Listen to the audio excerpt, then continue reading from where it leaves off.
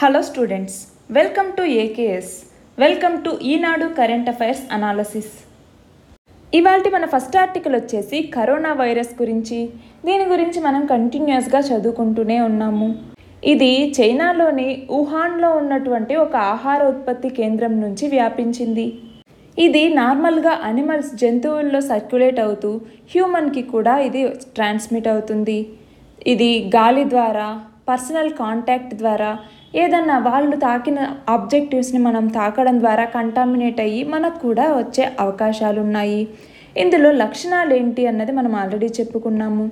First జలుబులాగే ఉంటుంది normal జలుబు వస్తుంది.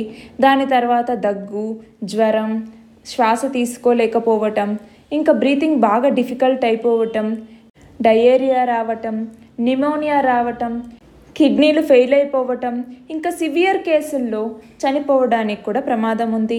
ఈ కరోనా వైరస్కి సంబంధించి మనం సిమ్టమ్స్ని ట్రీట్ చేయొచ్చు కానీ దీనికంటూ వ్యాక్సిన్ కానీ లేదా యాంటీవైరల్ డ్రగ్స్ కానీ అందుబాటులో లేవు. నివారణ ఒక్కటే దీనికి మార్గంగా చెప్పచ్చు. ఇప్పుడు ఇక్కడ కేరళలో తొలి కేసు బయటపడింది మన భారతదేశంలో. చైనా నుంచి భారత్కి కూడా ఇది వ్యాపించింది. వుహాన్లో చదివేటటువంటి ఒక విద్యార్థినికి ఈ వైరస్ సోకింది. తనకి ఇక్కడికి వచ్చిన తర్వాత తనకి వైరస్ సోకింది అనేసి నిర్ధారించారు. మన నెక్స్ట్ ఆర్టికల్ వచ్చేసి రెండు వేల ఇరవై ఒకటి సెన్సెస్ గురించి. జనగణన కార్యక్రమంలో భాగంగా మొత్తం ముప్పై ఒక్క అంశాల్ని నమోదు చేస్తున్నారు. ఇందులో భాగంగా నివాస గృహాలకు సంబంధించినటువంటి సమాచారాన్ని కూడా సేకరిస్తున్నారు. ఆ ముప్పై ఒక్క అంశాలు ఏమేమి ఉన్నాయనేసి మనం ఒకసారి చూసుకోవాలి. ఇవన్నీ మనం కామన్గానే ఉంటాయండి. ఇంటి నెంబరు జనగణన యొక్క ఇంటి నెంబరు ఇంటి యొక్క నేల గదులు ఎన్నున్నాయి కప్పు స్వభావం ఏంటి ఇంటిని ఎందుకు వినియోగిస్తున్నాం ఇంటి పరిస్థితి ఏంటి ఇంట్లో ఉన్నటువంటి కుటుంబ సభ్యులెంత కుటుంబంలోని సభ్యుల సంఖ్య ఎంత కుటుంబ యజమాని పేరేంటి? కుటుంబ యజమాని మగన ఆడన? లేదా కుటుంబ యజమాని ఎస్సీ ఎస్టీ వర్గానికి చెందిన వాళ్ళ? ఇంటి సొంతదారు ఎవరున్నారు? కుటుంబ ఆధీనంలో ఉన్నటువంటి గదులెన్ని కుటుంబంలో పెళ్ళైన దంపతులు ఎంతమంది ఉన్నారు? తాగునీటికి ఆధారం ఏంటి తాగునీళ్ళు ఎక్కడి నుంచి వస్తుంది? వెలుగుల యొక్క పరిస్థితి ఏంటి? ఇంట్లో మరుగుదొడ్డి ఉందా? ఉంటే ఏ రకమైంది? వ్యర్థజలం పోయేటటువంటి మార్గం ఉందా? స్నానాల గది ఉందా? వంటగది ఉందా? ఎల్పిజి కనెక్షన్ తీసుకున్నారా లేదా? వంటకి ఏం ఉపయోగిస్తున్నారు? రేడియో లేదా ట్రాన్సిస్టర్ ఉందా? టెలివిజన్ ఉందా? ఇంటర్నెట్ ఉందా? ల్యాప్టాప్ కానీ కంప్యూటర్ కానీ telephone mobile smart phone cycle scooter motor cycle ఇలాంటివి ఏమైనా ఉన్నాయా? కారు జీబు వ్యాను లాంటివి ఉన్నాయా? ఆహారానికి ఉపయోగించే ప్రధానమైనటువంటి ధాన్యం ఏంటి? అలాగే మొబైల్ నెంబర్ ఇది జనగణనకు సంబంధించినటువంటి సమాచార నిమిత్తం సేకరిస్తారు. ఇలా మొత్తం ముప్పై ఒక్క అంశాలను నమోదు చేస్తారు. మన నెక్స్ట్ ఆర్టికల్ వచ్చేసి శాసన మండలి వ్యవస్థ మీద కేంద్రం ఏం చేయబోతోంది? అనేసి. ఈ ఆర్టికల్లో ఏం చెప్పారండి? దేశంలో చాలా రాష్ట్రాలు కూడా శాసన మండల ఏర్పాటు రద్దు కోసం శాసనసభల్లో తీర్మానాలు చేసి కేంద్రానికి పంపిస్తున్నారు.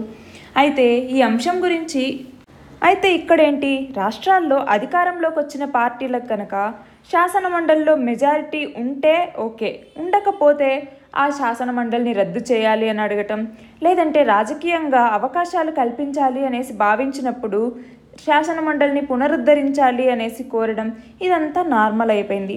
ఈ నేపథ్యంలో మనకంటూ ఒక జాతీయ విధానం తీసుకురావాలి శాసన మండలిని రద్దు చేస్తే దానికంటూ ఒక జాతీయ విధానం ఉండాలి అని చెప్పేసి పార్లమెంటరీ స్థాయి సంఘం సిఫార్సు చేసింది. అయితే ప్రస్తుతం శాసన మండలులు ఉన్నటువంటి రాష్ట్రాలు ఎన్ని అని చూస్తే ప్రస్తుతం ఆరున్నాయండి. ఒకటి వచ్చేసి ఆంధ్రప్రదేశ్. ఇప్పుడు ఆంధ్రప్రదేశ్లో శాసన మండలి రద్దు కోసం తీర్మానాన్ని పంపించారు. రెండవది వచ్చేసి తెలంగాణ. మూడవది వచ్చేసి బీహార్. నాలుగవది మహారాష్ట్ర. ఐదవది కర్ణాటక. ఆరవది ఉత్తరప్రదేశ్. ఇంతకుముందు ఏడవది కూడా ఉండేదండి జమ్మూ మరియు కాశ్మీర్. కానీ ఇప్పుడు అది యూనియన్ టెరిటరీగా మారింది. అక్కడ శాసన మండలి ఇవన్నీ ఏం లేవు కాబట్టి ఇప్పుడు ఏడవది లేదు. కాబట్టి ఆరు మాత్రమే ఉన్నాయి. అందులో ఇప్పుడు ఆంధ్రప్రదేశ్ కూడా శాసన మండలి మాకు అక్కర్లేదు రద్దు కావాలి అనేసి కోరుతోంది. ఈ నేపథ్యంలో అసలు ఇప్పుడు ఆల్రెడీ రద్దు చేసి మళ్ళీ మాకు శాసన మండలులు కావాలి అనుకున్న అనుకుంటున్నటువంటి రాష్ట్రాలు కూడా ఉన్నాయి. ఎన్నున్నాయి? నాలుగు రాష్ట్రాలు ఉన్నాయండి. ఏంటి? శాసన మండలిని ఆల్రెడీ రద్దు చేసి మళ్ళీ కావాలనుకుంటున్నటువంటి రాష్ట్రాలు. ఒకటి వచ్చేసి మధ్యప్రదేశ్. ఇది రెండు వేల పద్దెనిమిదిలో తీర్మానం చేసి పంపించింది. ఏమని? మాకు మళ్ళీ శాసన మండలి కావాలి అని చెప్పేసి. రెండవది వచ్చేసి పంజాబ్. ఇది దీర్ఘకాలికంగా పెండింగ్లోనే ఉంది. మూడవది వచ్చేసి పశ్చిమ బెంగాల్. ఇది పంతొమ్మిది వందల అరవై తొమ్మిదిలో రద్దు చేసింది. రెండు వేల పదిహేడులో మాకు మళ్ళీ శాసన మండలి కావాలి అనేసి కోరింది. నాలుగవది వచ్చేసి అస్సాం. ఇది రెండు వేల పదకొండులో పునరుద్ధరణ కోసం తీర్మానం చేసి పంపించింది. కొత్తగా మాకు శాసన మండలి కావాలి అని కోరుకుంటున్నటువంటి రాష్ట్రాలు కూడా ఉన్నాయండి. అవేమేమిటి? ఒకటి వచ్చేసి ఒడిషా రెండవదేమో హిమాచల్ ప్రదేశ్ మూడవది ఢిల్లీ నాలుగవది రాజస్థాన్ ఐదవది ఉత్తరాఖండ్. తమిళనాడులో పంతొమ్మిది వందల ఎనభై తొమ్మిదిలో ఏఐడిఎంకే ఉన్నప్పుడు శాసన మండలిని రద్దు చేశారు. రెండు వేల పదిలో మళ్ళీ పునరుద్ధరణ కోసం డిఎంకే తీర్మానం చేసి పంపించింది. దీని మీద పార్లమెంట్లో బిల్లు పాస్ అయినప్పటికీ కూడా నోటిఫికేషన్ అనేది బయటికి రాలేదు. రెండు వేల పన్నెండులో మళ్ళీ ఏఐడిఎంకే మాకు పునరుద్ధరణ ఏం వద్దు అని చెప్పేసి కోరింది. ఈ నేపథ్యంలో ఆంధ్రప్రదేశ్కి సంబంధించి కేంద్ర ప్రభుత్వం ఎలా స్పందిస్తుంది అన్నది చూడాలి. మన నెక్స్ట్ ఆర్టికల్ వచ్చేసి మన దేశంలో నిరుద్యోగం అనేది పెరిగిపోతుంది. మన దేశ ఆర్థికాభివృద్ధి మాంద్యంలోకి వెళ్ళిపోతుంది. దీని నుంచి బయటికి రావడానికి ఉన్నటువంటి చాలా మార్గాల్లో అంకుర పరిశ్రమల్ని సూక్ష్మ పరిశ్రమలు వీటికి తగినన్ని ప్రోత్సాహకాలు రాయితీలు ఇవ్వటం ఇలాంటివి చేయటం ద్వారా ప్రజల్లోకి డబ్బు అనేది వెళ్తుంది. అంటే వాళ్ళ చేతుల్లో డబ్బు మిగిలితే వాళ్ళు ఆదా చేసే మనీ మిగులుతుంది. దాని ద్వారా మనం ఆర్థికాభివృద్ధిలో ఒక ముందడుగు వేయచ్చు అన్నది ఈ ఆర్టికల్ అండి. ఇందులో ఏం చెప్తున్నారు? రెండు వేల పదహారు ఏప్రిల్ ఒకటవ తేదీ తర్వాత ఏర్పాటైనటువంటి ఏ అంకుర సంస్థ అయినా స్టార్టప్ అంటాము అంకుర సంస్థ. ఏ అంకుర సంస్థ అయినా కూడా మూడు సంవత్సరాల పాటు హండ్రెడ్ పర్సెంట్ రాయితీ పన్ను రాయితీ అనేది దీనికి కల్పిస్తున్నారు. ఈ రాయితీని ఆ అంకుర సంస్థలు నిలదొక్కునేంత వరకు కల్పించాలి. ఎందుకంటే మనం ఈ మధ్య అంతా చూస్తున్నాం ప్రైవేట్ పెట్టుబడులు తగ్గిపోతున్నాయి ఎగుమతులు తగ్గిపోతున్నాయి జిఎస్టీని తీసుకొచ్చారు వస్తు సేవల మీద ప్రజల ఖర్చు అనేది తగ్గిపోతోంది స్థిరాస్తి రంగం పడిపోతోంది గిరాకీ తగ్గిపోతోంది. ఇవన్నీ కూడా భారతదేశ ఆర్థిక వ్యవస్థని మాంద్యంలోకి లాగేస్తున్నాయి. మనకి తరుణ్ కన్నా కమిటీ అనేది ఒకటి ఉంది ఈ తరుణ్ కన్నా కమిటీ ఏం చెప్తుంది? అమెరికాతో పోలిస్తే ఇక్కడ ఉన్న వాళ్ళు స్టార్టప్ నిధుల కోసం అధికంగా శ్రమించాల్సి వస్తోంది. ఎందుకంటే మన దగ్గర ఉన్నటువంటి పన్నుల వ్యవస్థ సంక్లిష్టంగా ఉంది. మౌలిక సదుపాయాలు లేవు. బ్యూరోక్రసీ వీటన్నింటి వల్ల స్టార్టప్స్కి నిధులు అనేది దొరకటం లేదు. రిజిస్టార్స్ ఆఫ్ కంపెనీ దీని యొక్క గణాంకాల ప్రకారం చూస్తే పన్నుల యొక్క మదింపు తర్వాత గత ఆర్థిక సంవత్సరంలో పేటిఎం ఓలా గ్రోఫర్స్ స్నాప్డీల్ లాంటి ప్రముఖ స్టార్టప్ సంస్థలన్నీ కూడా నష్టాల్లో ఉన్నాయి అనేసి ఇది ధృవీకరించింది. ఈ విషయానికి వచ్చేసరికి తెలంగాణ ఐటీ శాఖ సాంకేతిక కళాశాలల స్థాయిలోనే అంకురాల్ని తీసుకొచ్చేటటువంటి ఆలోచనల్ని ప్రోత్సహించాలి అనేసి చెప్పింది. అత్యధిక స్టార్టప్లు కలిగినటువంటి రాష్ట్రాల జాబితాలో కర్ణాటక మొదటి స్థానంలో ఉంది రెండవ రాష్ట్రంలో మహారాష్ట్ర ఉంది మూడవ స్థానంలో తెలంగాణ ఉంది. ఆంధ్రప్రదేశ్ ఏడవ స్థానంలో ఉంది. ఆంధ్రప్రదేశ్ ఏం చెప్పింది? రెండు వేల ఇరవై నాటికి వంద అంకురాభివృద్ధి కేంద్రాలని ఏర్పాటు చేస్తాం ఐదు వేల స్టార్టప్లని తీసుకొస్తామనేసి చెప్పింది. కానీ ఇది మాత్రం ఏడో స్థానానికే పరిమితమైంది. ఇప్పుడు వస్తున్నటువంటి చాలా స్టార్టప్లు వాటి యొక్క ప్రాంతీయ భాషల్లోనే డిజిటల్ సమాచారం మొత్తాన్ని అందజేస్తున్నాయి. ఇంకొంచెం ముందుకెళ్తే వాళ్ళు ఏం చేస్తారు? ఆర్టిఫిషియల్ ఇంటెలిజెన్స్ని కూడా దీనిలోకి తీసుకొచ్చే అవకాశాలు లేకపోలేదు.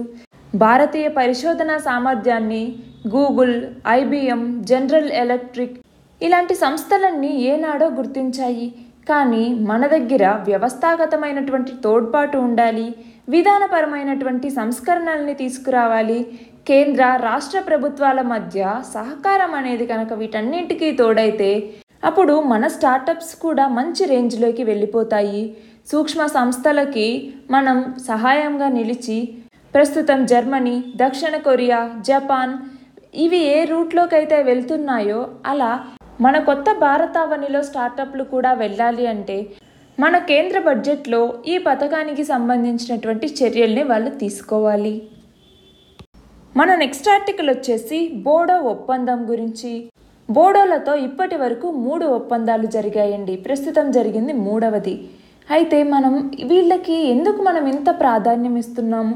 ఇప్పుడు ఒప్పందం ఎందుకు తీసుకొచ్చాము? ఆల్రెడీ రెండు ఒప్పందాలు అయిన తర్వాత మూడో ఒప్పందంతో మళ్ళీ పనేంటి? ఇదంతా మనం చూస్తే ఆగ్నేయాసియా దేశాలతో ఆర్థికంగా కానీ రాజకీయంగా కానీ సంబంధాలని బలోపేతం చేయడం లక్ష్యంగా మనం ఒక పాలసీని తీసుకొచ్చామండి. ఏంటది? యాక్ట్ ఈస్ట్ పాలసీ అనేసి తీసుకొచ్చాం. ఈ విధానం మీద ప్రభుత్వం చూపించేటటువంటి శ్రద్ధ ఒక కారణం. దానికి దీనికి ఏంటి సంబంధం? మనం చూస్తే చికెన్ నెక్ కారిడార్ అనేసి మనం ఒకటి చెప్తామండి. ఇది ఇరవై రెండు కిలోమీటర్ల మేర ఉంటుంది. ఈ భాగాన్ని మనం సుస్థిరపరచాలి బలోపేతం చేయాలి. ఈ సంగతి మన ప్ర భారత ప్రభుత్వానికి చాలా బాగా తెలుసు.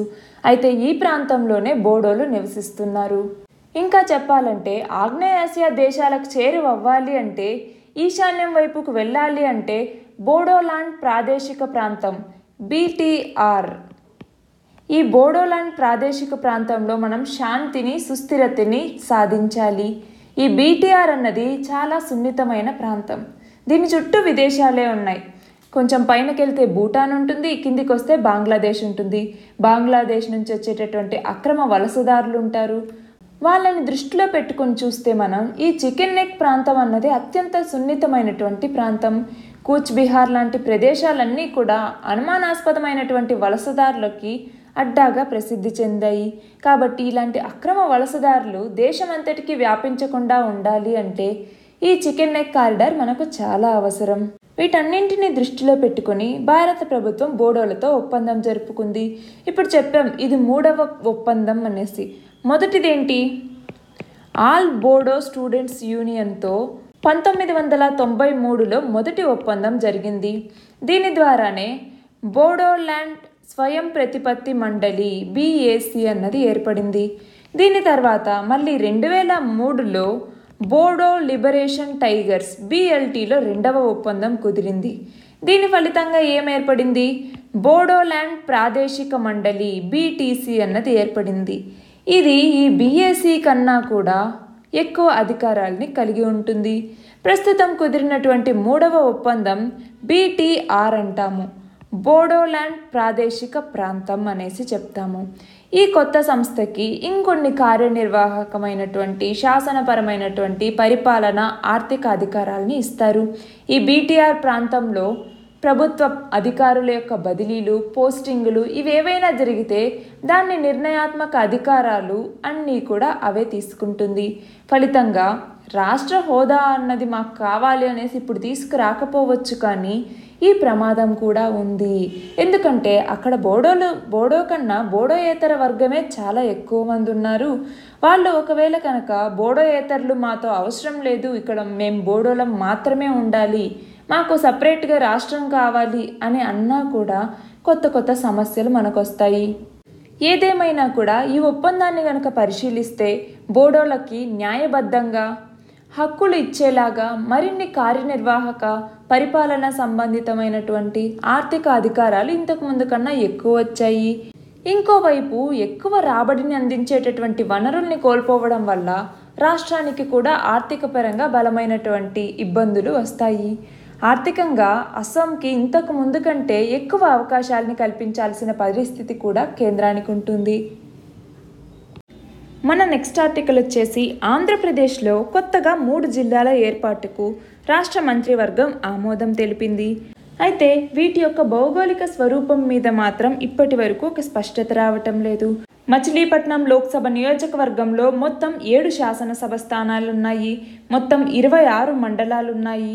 ఐదు వందల ఇరవై మూడు గ్రామాలు ఉన్నాయి దీని యొక్క అక్షరాస్యత డెబ్బై ఐదు పాయింట్ మూడు ఒకటిగా ఉంది. ఈ మచిలీపట్నం లోక్సభ నియోజకవర్గం యొక్క ప్రత్యేకతలు ఏంటి? అక్కడ గన్నవరం విమానాశ్రయం ఉంది.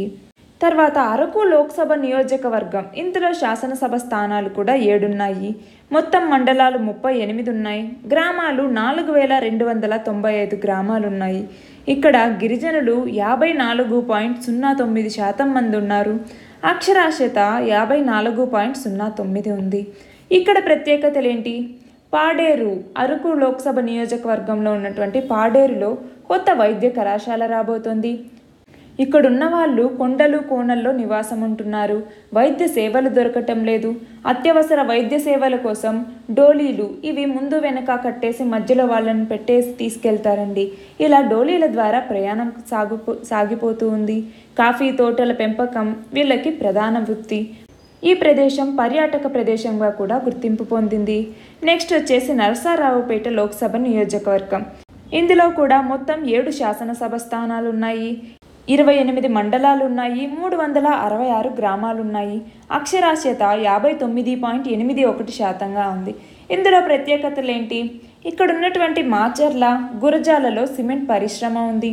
అమరావతి అమరావతిలో అమరేశ్వర ఆలయం ఉంది. తెలంగాణ సరిహద్దుకు ఇది చాలా దగ్గరగా ఉంటుంది. మన నెక్స్ట్ ఆర్టికల్ వచ్చేసి IRCTC Indian railway catering and tourism corporation అన్నది. రామాయణంలో ప్రస్తావించినటువంటి ప్రముఖ ప్రదేశాలన్నింటినీ ఒకసారి సందర్శించేందుకోసం రామాయణ యాత్ర పేరుతో ప్రత్యేకమైనటువంటి టూర్ నిర్వహిస్తోంది. దీంతో పాటు రాయల్ రాజస్థాన్ అనేటటువంటి పేరుతో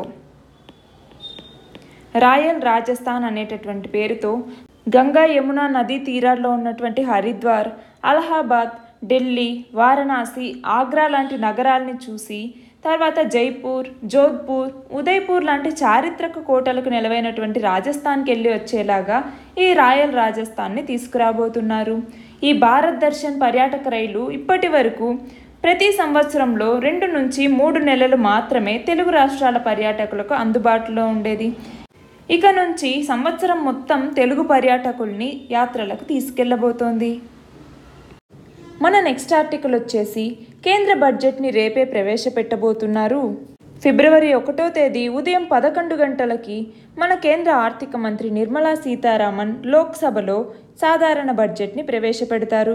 రెండు వేల పంతొమ్మిదిలో మోడీ ప్రభుత్వం రెండవసారి అధికార బాధ్యతలు చేపట్టిన తర్వాత తొలి పూర్తి స్థాయి బడ్జెట్ ఇదే అనేసి మనం చెప్పొచ్చు. మనం ఆల్రెడీ మొన్నటి వీడియోలో చెప్పుకున్నామండి. ఏమని?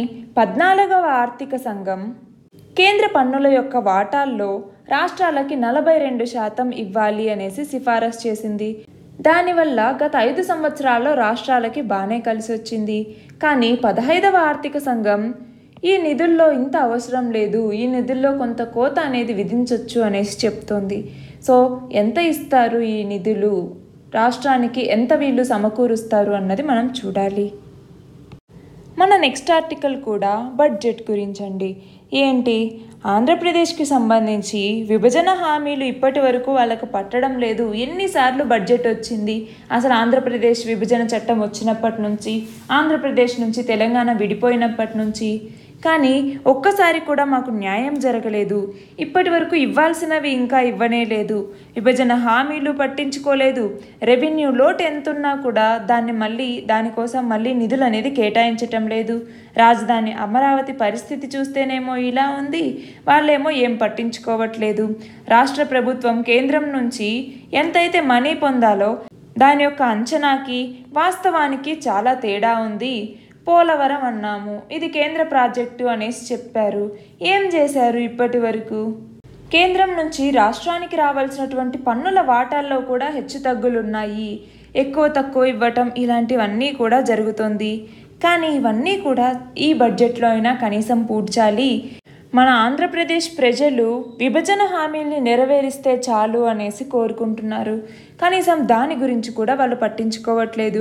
పన్నుల్లో వాటాలు పట్టించుకోవట్లేదు. ప్రత్యేక సాయం అనేసి ప్రకటించినటువంటి నిధులు కూడా పట్టించుకోవట్లేదు. అవి రావట్లేదు. కేంద్ర ప్రాయోజిత పథకాలకి మనీ సరిగ్గా రావట్లేదు. ఆర్థిక సంఘం ఇచ్చేటటువంటి గ్రాంట్లు ఇతర గ్రాంట్లు ఇవన్నీ విషయాల్లో కూడా కేంద్ర బడ్జెట్ నుంచి రాష్ట్రానికి చాలా తక్కువగా వస్తున్నాయి. సో ఈసారైనా కనీసం చూడాలి. ప్రతి సంవత్సరం ఎదురు చూస్తూనే గడుపుతున్నాము. ఈసారైనా ఇస్తారో లేదో చూడాలి అన్నది ఈ ఆర్టికల్. మన నెక్స్ట్ ఆర్టికల్ వచ్చేసి తెలంగాణలోని ఆసిఫాబాద్ జిల్లా లింగాపూర్ మండలంకి సంబంధించినటువంటి ముగ్గురు వ్యక్తులు నవంబర్ ఇరవై నాలుగవ తేదీన బెలూన్లు అమ్ముకునేటటువంటి ఒక మహిళ ఒంటరిగా వెళ్తూ ఉంటే ఆవిడ మీద అఘాయిత్యానికి పాల్పడ్డారు. నేరం రుజువు అవ్వడం వల్ల ఆదిలాబాద్ ప్రత్యేక హైకోర్టు వాళ్ళకి మరణశిక్ష విధించారు. మొత్తం ఇది జరిగిన అరవై ఆరు రోజుల్లోనే శిక్షను ఖరారు చేశారు. ఇందులో ఉన్నటువంటి ప్రధాన నిందితులు ఈ ముగ్గురు. మన నెక్స్ట్ ఆర్టికల్ వచ్చేసి భారత్ పర్వ్ గురించి. ఈ భారత్ పర్వ్ అనేది ఏంటండి? మన భారతదేశంలోని వివిధ రాష్ట్రాలకు సంబంధించినటువంటి వంటకాలు సంస్కృతి వీటిని ప్రదర్శించడానికి భారత ప్రభుత్వ పర్యాటక మంత్రిత్వ శాఖ నిర్వహించేటటువంటి ఐదు రోజుల పండుగ ఇది. ఇది ప్రతి సంవత్సరం జనవరి చివరిలో జరుగుతుంది. ఈ సంవత్సరం కూడా జనవరి ఇరవై ఆరవ తేదీన ఢిల్లీలో ఉన్నటువంటి రెడ్ ఫోర్ట్లో ప్రారంభమైంది. ఫిబ్రవరి ఒకటవ తేదీన ముగుస్తుంది. ఇందులో ప్రదర్శించినటువంటి నృత్యాల్లో గుస్సాడి కొమ్ము కోయ నృత్యాలు మన వాసుల్ని బాగా అలరించాయి అనేసి చెప్పారు. కానీ ఈ పేర్లను మనం గుర్తుపెట్టుకోవాలండి. గుస్సాడి ఇదొక నృత్యం. కొమ్ముకోయ అనేది ఒక నృత్యం. ఇవన్నీ కూడా ఇక్కడ ప్రదర్శిస్తున్నారు కాబట్టి అవి దేనికి సంబంధించినవి? ఐ మీన్ ఏ ఏ స్టేట్స్కి సంబంధించినటువంటి నృత్యాలు ఇవి? వాటిలో ఇంపార్టెన్స్ ఏంటి అన్నది మనం ఒకసారి చూసుకోవాలి. ఆర్ట్ అండ్ కల్చర్ కింద దీన్ని మనం చదువుకుంటాము. మన నెక్స్ట్ ఆర్టికల్ వచ్చేసి బిఎస్ సిక్స్ గురించి భారత్ స్టేజ్ ఎమిషన్ స్టాండర్డ్స్ అంటాము. ఈ బిఎస్ఈఎస్ అనేది వాయు కాలుష్య కారకాల యొక్క ఉత్పత్తిని తగ్గించడానికి లేదా నియంత్రించడానికి మన భారత ప్రభుత్వం ఏర్పాటు చేసినటువంటి ఉద్గార ప్రమాణాలు ఈ భారత్ స్టేజ్ ఎమిషన్ స్టాండర్డ్స్ అంటాము. వీటిని యూరోపియన్ నిబంధనల ఆధారంగా రెండు వేలవ సంవత్సరంలో వీటిని ప్రవేశపెట్టాము. అప్పటి నుంచి ఈ నిబంధనలన్నీ మనకు అమల్లోకి వచ్చాయి దాని తర్వాత అక్టోబర్ రెండు వేల పది నుంచి BS Bharat stage three norms భారతదేశ వ్యాప్తంగా అమలు చేయబడ్డాయి. మొత్తం పదమూడు ప్రధాన నగరాల్లో Bharat stage four BS four ఉద్గార నిబంధనలు ఏప్రిల్ రెండు వేల పది నుంచి అమల్లోకి వచ్చాయి ఈ భారత్ స్టేజ్ ఫోర్ని ఏప్రిల్ రెండు వేల పదిహేడు నుంచి మొత్తం దేశానికి అమలు చేశారు. రెండు వేల పదహారులో భారత్ ప్రభుత్వం బిఎస్ ఫైవ్ నిబంధనలను పూర్తిగా దాటేస్తున్నాము. రెండు వేల ఇరవై ఏప్రిల్ నుంచి కూడా బిఎస్ సిక్స్ నిబంధనలు అమల్లోకి వస్తాయి అనేసి చెప్పారు. తర్వాత లాస్ట్ ఇయర్ సుప్రీంకోర్టు తీర్పు ఏం చెప్పింది? రెండు వేల ఇరవై ఏప్రిల్ ఒకటి నుంచి కూడా దేశం మొత్తంలో ఉద్గార ప్రమాణాలన్నవి భారత్ స్టేజ్ సిక్స్ ఈ బిఎస్ సిక్స్ నామ్స్కి అనుగుణంగానే మోటార్ వాహనాల యొక్క అమ్మకం ఉండాలి. మోటార్ వాహనాల యొక్క నమోదు కూడా బిఎస్ సిక్స్ నామ్స్ని పాటించేవే అయి ఉండాలి అనేసి తీర్పిచ్చింది. ఈ ఆర్టికల్ ఏంటి? ఏప్రిల్ నెల ఒకటో తేదీ నుంచి దేశంలో పెట్రోల్ మరియు డీజిల్ ధరలు పెరుగుతున్నాయి. దానికి కారణం ఏంటి? యూరో సిక్స్ ఉద్గార అల్ట్రా క్లీన్ వాహన ఇంధనాలకి భారత్ మారుతుండడమే కారణం అనేసి చెప్తున్నాం. ప్రస్తుతం మనం బిఎస్ ఫోర్ ప్రమాణాలు వాడుతున్నాము. ఏప్రిల్ ఒకటి రెండు వేల ఇరవై సంవత్సరం నుంచి బిఎస్ సిక్స్ నామ్స్కి మనం వెళ్ళిపోతాము. మన నెక్స్ట్ ఆర్టికల్ వచ్చేసి సబ్కా వికాస్ స్కీమ్ గురించి. దీనిని సేవ ఎక్సైజ్ పన్నులకు సంబంధించి పెండింగ్లో ఉన్న కేసుల పరిష్కారం కోసం దీన్ని తీసుకొచ్చారు. రెండు వేల పంతొమ్మిది బడ్జెట్లో ఈ పథకాన్ని ప్రవేశపెట్టగా రెండు వేల పంతొమ్మిది సెప్టెంబర్ ఒకటి నుంచి ఇది అమల్లోకి వచ్చింది. ఈ పథకం కింద అర్హులైనటువంటి వ్యక్తులు వాళ్ళు చెల్లించాల్సినటువంటి బకాయిల విలువ ఎంతో చెప్పుకొని ఆ మొత్తాన్ని కూడా ప్రత్యేక విండో ద్వారా చెల్లించవచ్చు thank you and all the best.